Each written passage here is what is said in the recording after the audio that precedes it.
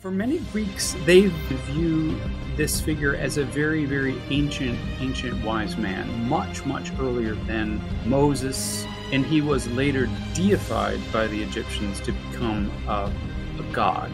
And this figure had disciples. He established a school of secret philosophy, wrote down his wisdom on secret plates, and when they got around to depicting Jesus, they depicted it him as the sage revealing his wisdom piecemeal. Then there's a, an inner circle of 12, and they go inside and they get access to the true meaning of the parable, the mystery of the kingdom of God. The idea of secrecy, mysteries, they loved that. And Christianity has no special claim on that whatsoever. Right. Dionysius, as a child, dies and is ripped apart by evil characters called Titans. That secret story of how Dionysius dies and is reborn then becomes central to the Orphic mysteries. Osiris, Isis, and then Horus as the kind of primal triad father, mother, son. Father, mother, son appears in Christian Trinitarian literature. So the Christians are very, very carefully co opting this theme which is everywhere pervasive in Greek, Roman, and Egyptian.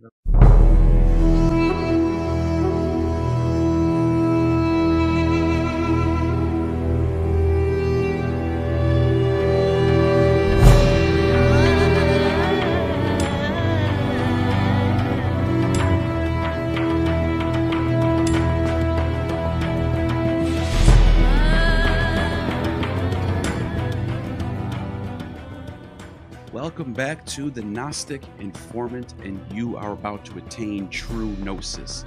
And today, returning is another special guest, Dr. M. David Litwa, who uh, we just had on, what, about a week ago, two weeks ago? We were talking about the Egyptian god who Set, who may or may not be a secret deity of the Israelites. So go check that out. Um, also, David Litwa has a tons of books look them up on Amazon, go to your local library and ask for them, and you might be able to get them for free. And uh, I'm glad to have you back on. It's great to be here, Neil. Thanks for having me. And today we're switching it up to a different topic, which is also related to Gnosticism, is Hermes and the Corpus Hermeticum of the Hermetica 2, which is your book. And tell people a little bit about the Hermetica 2 and what it is. Right. So this is um, Hermetica 2. Um, it is a scholarly volume of ancient Greek and Latin sources on the figure of Hermes. This particular bird um, is an ibis. And for the ancient Egyptians, this was the representation of their deity Thoth. Now it's T H O T H, or Thoth, as it's sometimes said. This bird, interestingly, has become extinct in Egypt, but it's right here with me in Australia. I see this bird all the time. wow. um, Thoth was an ancient Egyptian deity associated with learning in general and wisdom. And he was accredited in ancient Egypt very early on with authoring a whole range of literature, which found its way into temple libraries. He was master of all subjects, but he's best known for astrological literature, magic, so called magical literature, um, literature dealing with medicine and literature dealing with other secret, so called secret arts, which would include uh, botany, uh, which is the knowledge of plants, and metallurgy, and uh, I think I mentioned alchemy, which is has to do with uh, transformation of metals, and virtually any kind of secret lore was associated with this figure. And the Greeks knew this figure. they were familiar with with the name Thoth um, or Thoth, uh, but they knew this figure as Hermes. For the Greeks, Hermes was simply a, trans, a way that they translated this Egyptian god into their cultural encyclopedia. Interesting. Uh, the Greek Hermes is uh, it isn't exactly like uh, the Egyptian deity, but they were close enough to make an approximate equalization. And this is this is a technique called um, interpretatio Graeca, that is Greek interpretation. When Greeks go into an area, they don't try to you know learn like an anthropologist all the cultural traditions. They translate the cultural traditions of a foreign area into their own terms. Mm. So the Egyptian gods like Zeus is identified with Amon or Amon, and Egyptian gods like uh, Isis are identified with Aphrodite, and so on and so forth. Uh, and so this is one of those cases where when the Greeks are in Egypt, and that begins really, uh, well, it begins very early, but they uh, establish Egypt, establish Greek cities in Egypt, including Alexandria, after Alexander the Great, who establishes Alexandria uh, before his death in 323. And since that time, there's been this amazing uh, communication and intercommunication between Greek and Egyptian culture. So that the the Egyptian Hermes, just to be clear, is Thoth, and sometimes this figure is called Hermes thrice great, Hermes three times great.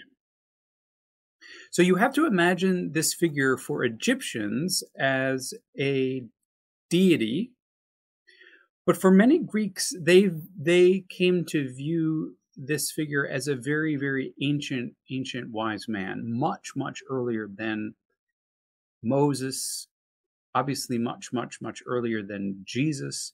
He was way back in antiquity, wow. and he was later deified by the Egyptians to become a, a god.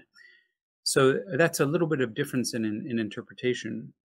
And this figure had disciples, one of them being his son, named Tat, the other named uh, Imhotep, uh, whom the Greeks translated as Asclepius.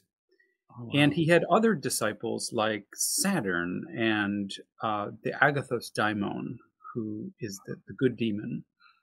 Oh, and wow, that's cool. And he he he established a school of secret philosophy and wrote down his wisdom um, in on secret plates, sort of like the gold plates of, of Joseph Smith, and these were buried, and these were later discovered, and a whole uh, sort of not a secret society, but what we think happened in the around the time of Christianity was that small circles or groups who were promoting hermetic wisdom. Sometimes these figures are called hermetists, were also um, involved in also in places like Egypt and Alexandria, possibly elsewhere, and they were writing Hermetic books. And these Hermetic books were written in Greek, and some of them were translated into, into Latin. And these are the very, very ancient sources translated here. Interesting. So that's interesting. You said a lot there that's mind blowing about the history behind this deity that goes back all the way to before the Greeks settled in, or I shouldn't say settled, took over Egypt basically. Um, well, took them from the Persians, I should say. It's not like they were like they were already taken over by someone else at the time. Anyways, right. long story short, uh, this Hermes character, and you mentioned that he was deified. Um, is this so? Because I always wonder if this was a real person or not, or if they or there were if this is like a composite character. And the other thing I want to ask about is you said he left back tablets. Is this have anything to do with the emerald tablet that I hear about that was found in Heliopolis, I think, by Alexander the Great? Correct me if I'm wrong. But. Well, not Alexander the Great, but the Emerald Tablet, which I translate in the book, is a source attributed to Hermes, and it's one of those really secret, spooky sources. Really good um, too. It's written really well. Yes, it has this kind of numinous aura and is very, very fun to read. That is not not as ancient as most of the other hermetic material that I translate in the volume, but it is still it is still ancient. Um, and so these these tablets were typically thought to be written in ancient hieroglyphics and deposited in uh, secret temples. And so this was a story that Egyptian priests told and this was the social meaning of this is that Egyptian priests who were experts in Hermetic lore got to claim a kind of social power or social capital by saying that they alone had access to these tablets and other materials. So that the knowledge, the secret wisdom, was specifically for these Egyptian priests who posed as experts of literate experts and freelance uh, well not freelance but as a, as official experts of hermetic lore. Later and this is following the theory of uh, christian h. Bull who's got a great book on the hermetica published not too long ago.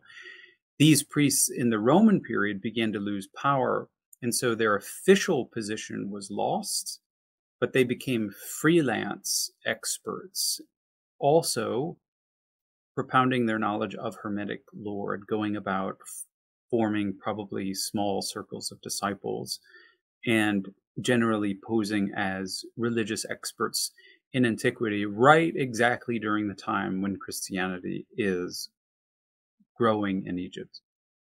Wow, and that's fascinating because the uh, the, the way it's written, and I guess the structure of how these like cults, I guess you would call them, are are are structured, feels very Christian like.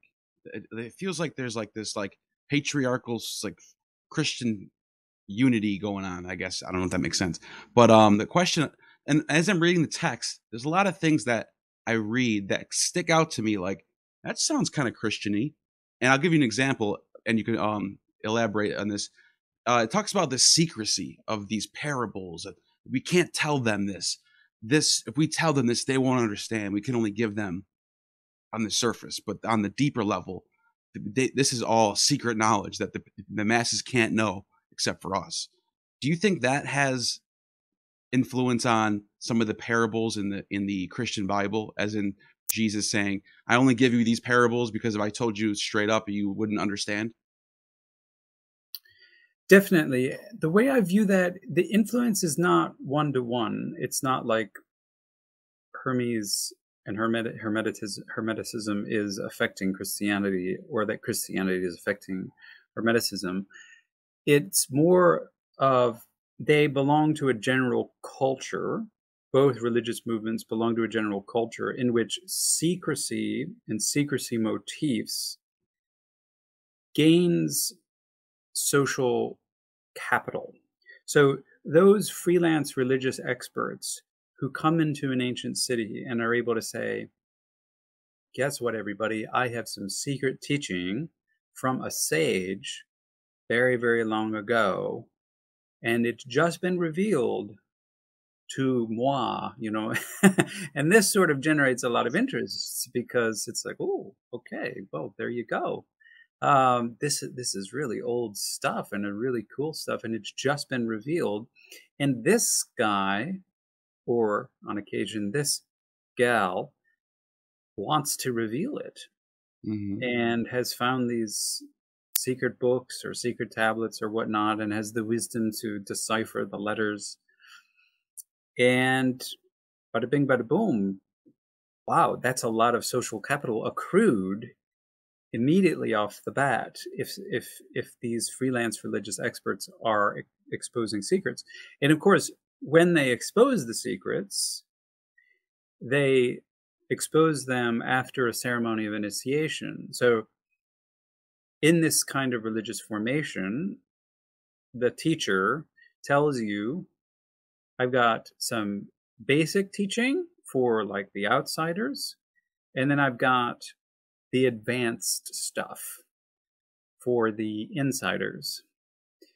And this is a very common structure of how religious lore was communicated in antiquity and to some degree today. If you want access to the advanced religious lore, you've got to go through some kind of initiation.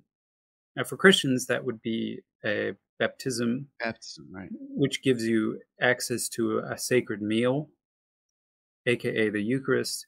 For Hermes, wow. this might involve other other things, and an initiation could be anything. It's sort of like a, a fraternity, sort of uh, kind of a thing uh, when you when you think of initiations. Sometimes they involve rituals that are painful. Sometimes they involve going into a dark room and hearing a story, holding up a light, starting a fire, jumping over a fire. It could be anything, and anything can be involved in your initiation.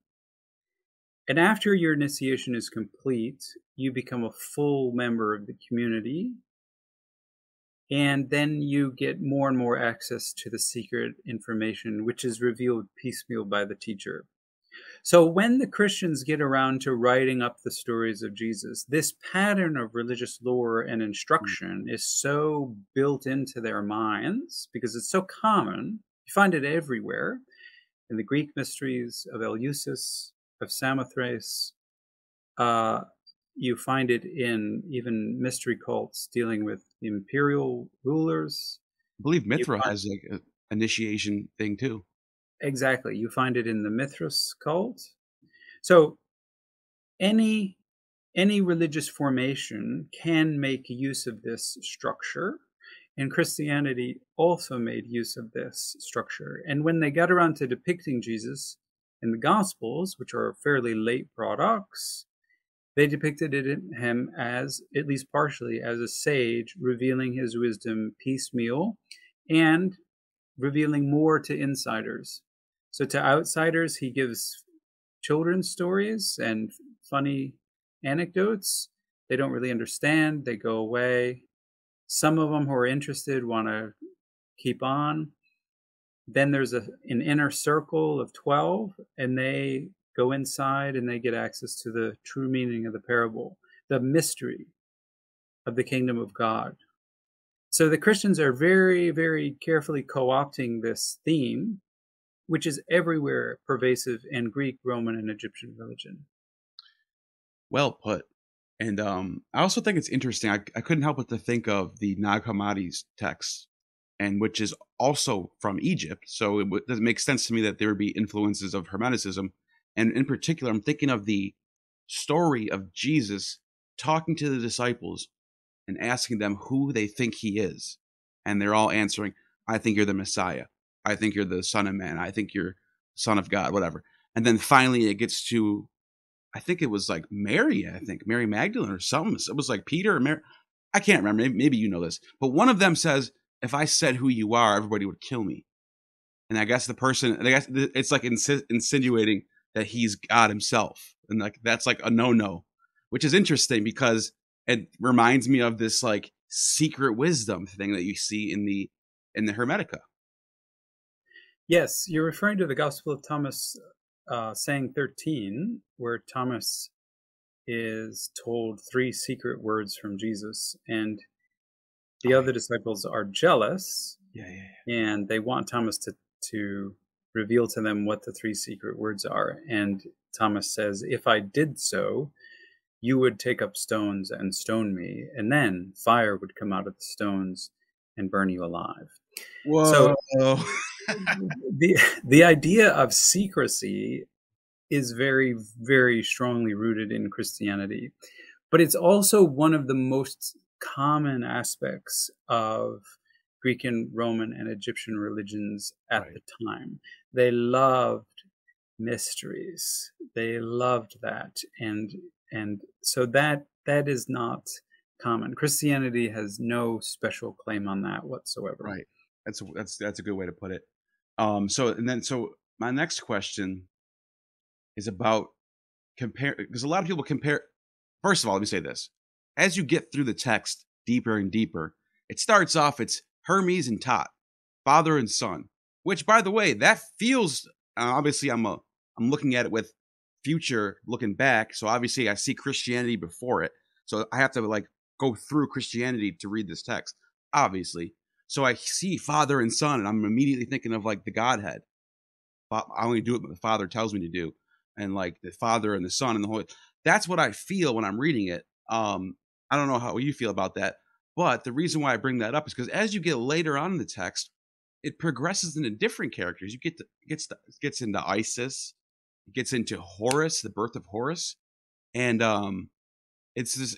My question is: Is there any connection to Jesus and first of all Horus because that's the one that everyone seems to jump on. It seems to be like maybe Zeitgeist made that happen. I'm not sure, but also Hermes because I think Hermes has more going on there.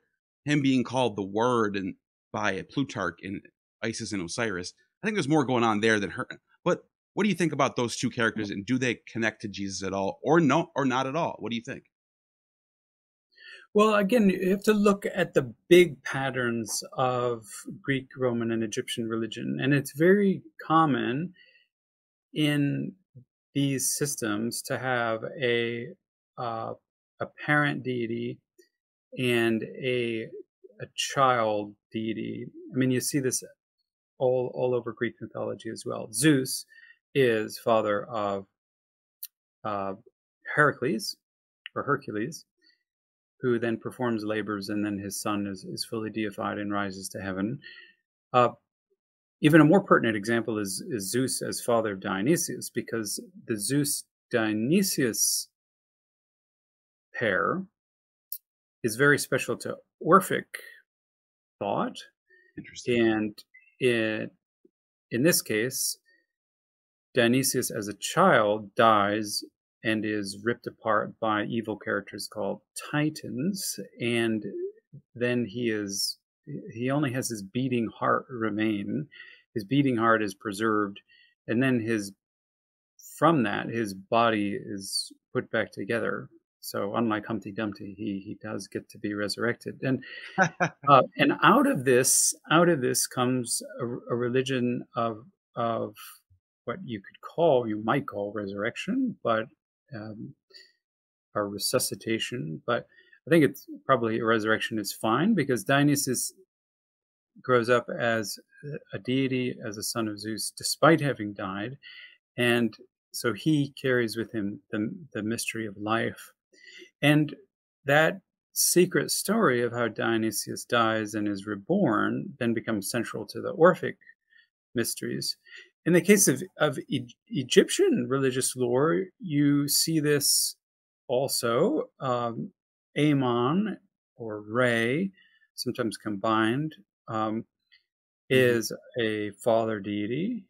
And you have Hermes, interestingly, being a father deity to Isis in this literature.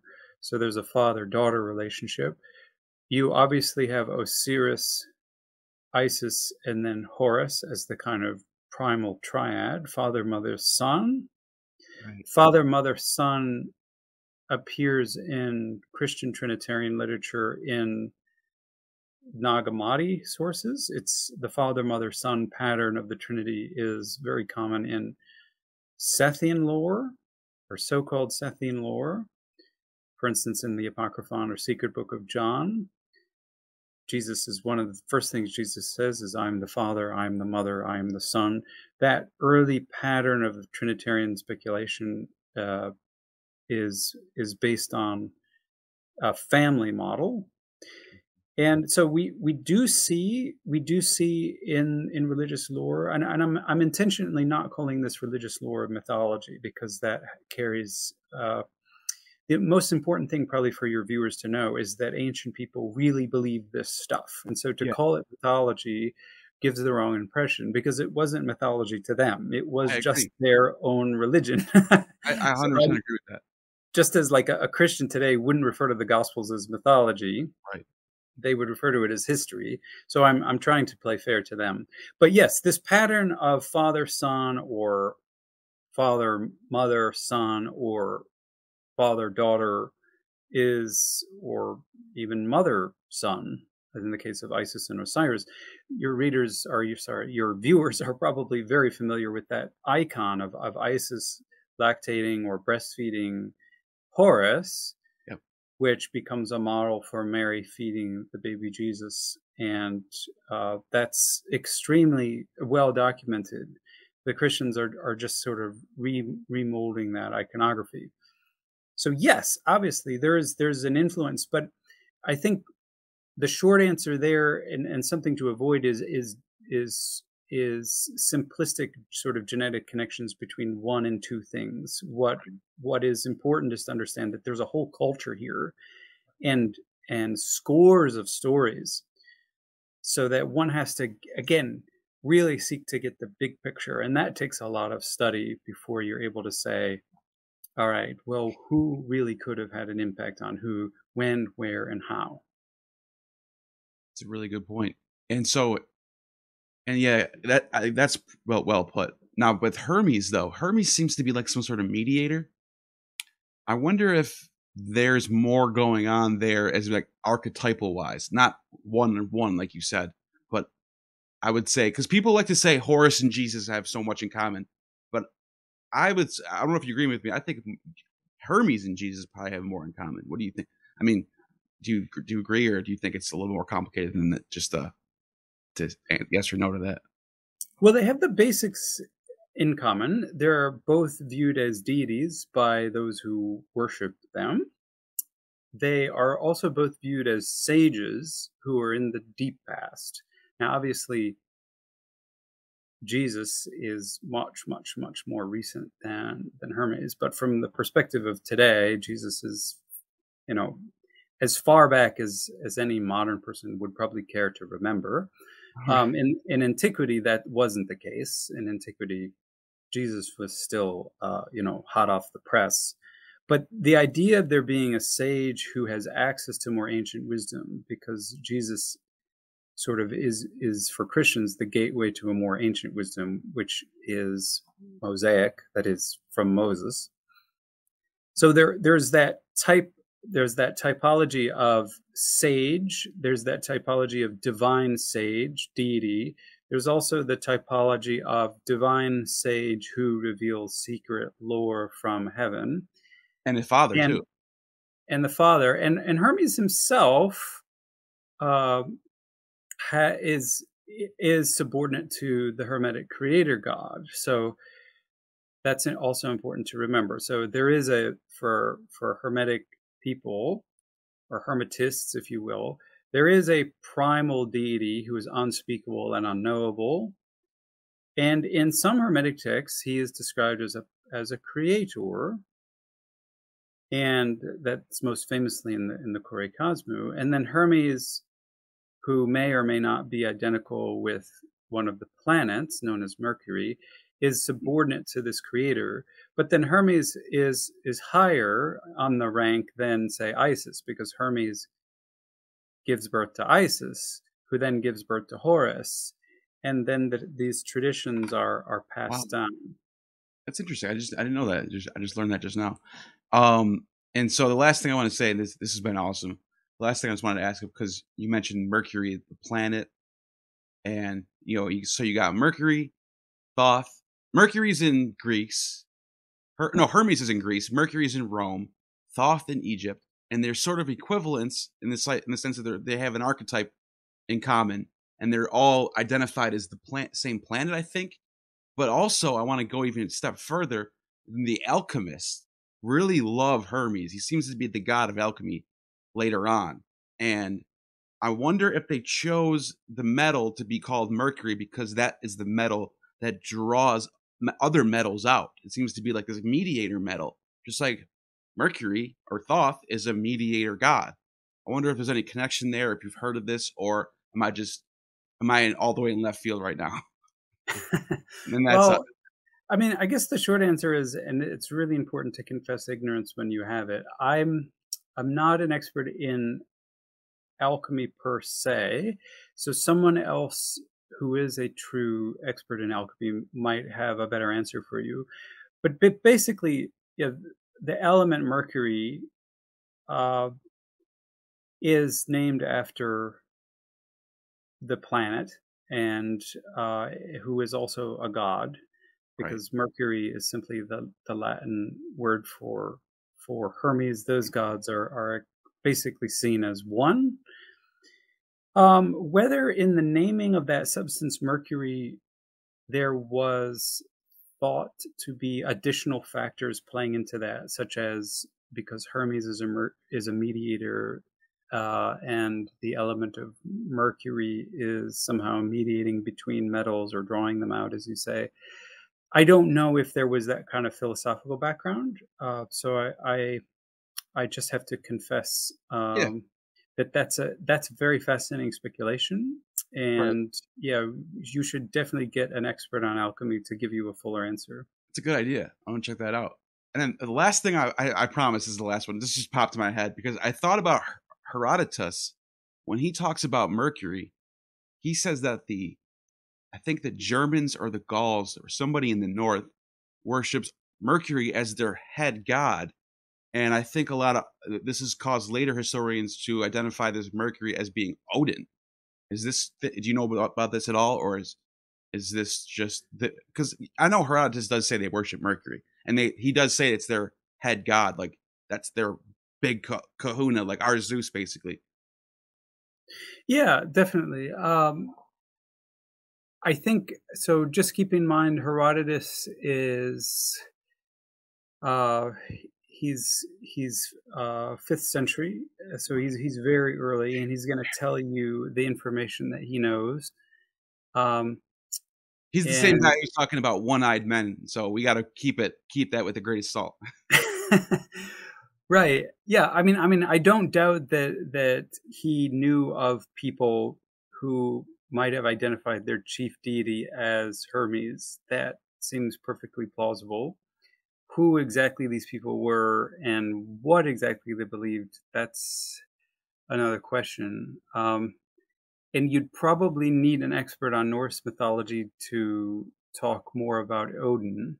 Um, I mean, it could be, or maybe not, because even the information that Herodotus has, um, a lot of it is through hearsay, and I don't think he would have had access to information of really far northern European traditions. Um, but that's just my uh, sort of throwaway response. Sure. Again, I have to confess uh, large, largely ignorance on this one, Neil. yeah, and I think I think um, I think the reason why it's so easy to draw that comparison is you see Odin with the the wings on his head, and I think mm-hmm. Mercury has those too. So you know, it's so someone like me, I I always get to doing this kind of stuff, but then that's why I love having you people like you on because I get to I stay grounded. I don't just go off in into space with my own theories. I get to you got to have scholars. You got it. It's just the way it is.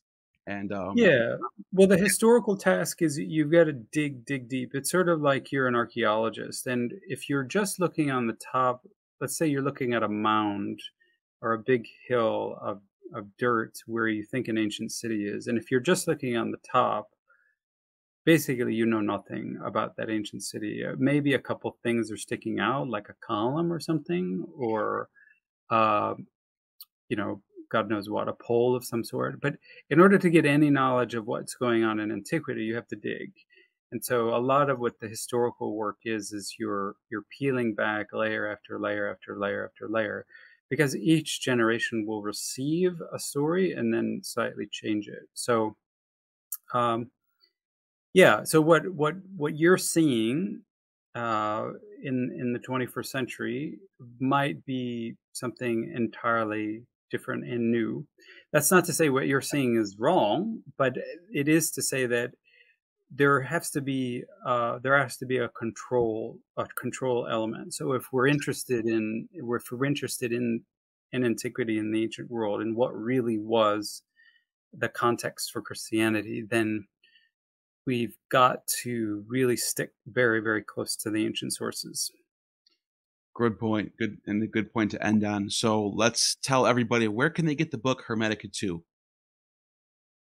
Well, um, so it's published by uh, Cambridge University Press. Um, I understand they will be releasing a soft copy soon. So if you don't want to get the hard copy, or if that's too pricey for you, there should be a uh, soft cover coming out.